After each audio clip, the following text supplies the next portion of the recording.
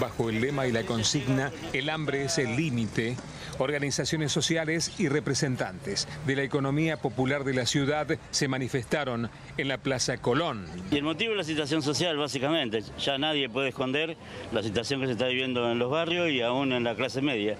Eh, es desesperante, eh, este básicamente para que Nación cumpla con alguna de las cosas que, tendría que hacer y no lo hace. Vamos de aquí al CDR, que es el centro de referencia, que está cerrado, que eh, ordenaron cerrarlo y bueno, la situación social en los barrios ya no se aguanta más. ¿Cuál es la situación real en los barrios en este momento, en los comedores? Y la situación es de hambre, miseria, los compañeros que no comen en un comedor no tienen dónde comer, se están cerrando la mayoría de los comedores y los que no se cierran dan vianda menos, menos días en la semana. Parecería que no importa, pero es indispensable en estos momentos. Yo decía que a diferencia del 2001, hoy lo que nos están salvando son los comedores populares. Y la alternativa es que se haga cargo alguien, la provincia, la municipalidad o la nación, no hay otra alternativa.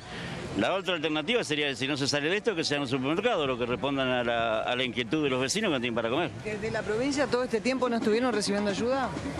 La ayuda de la provincia llega, pero no, eh, está, eh, no, se actualiza en la medida que hay que actualizarlo de acuerdo a la inflación. Marta, a cargo de un comedor de barrio Acería, nos cuenta la realidad que ha comenzado a ver. Sin insumos suficientes, muchas familias se vuelven a su casa sin las raciones de comida. La realidad que se ve en, todos los comedores barriales eh, que estamos las organizaciones sociales realmente es alarmante. Eh, la gente ya lleva igual los tuppers por más que le digamos que no hay. Eh, no recibimos una respuesta concreta desde hace más de dos meses y necesitamos que los tres niveles respondan, nacional, provincial y municipal, a, a los alimentos, que es lo principal para todos los barrios y para toda la gente que realmente hay gente que vive de los comedores. ¿Qué come esa gente que no consigue que le den nada en el comedor comunitario? Y yo creo que esa gente no, hay muchos que hoy se van sin, un plato de comida a, su cama y lo que es realmente triste es que hay chicos y no, podemos entender cómo en una provincia tan rica como la que estamos eh, sucedan estas cosas.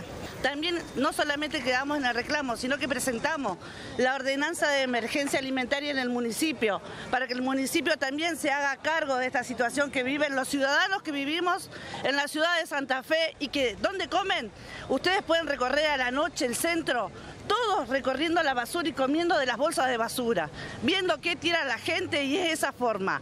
Cada vez se reduce más el trabajo, porque no solamente venimos a, exigir los alimentos, sino el trabajo genuino y que se nos respete. Se nos bajó el potencial trabajo, pero todavía no hay directivas claras de cómo va a seguir ese programa.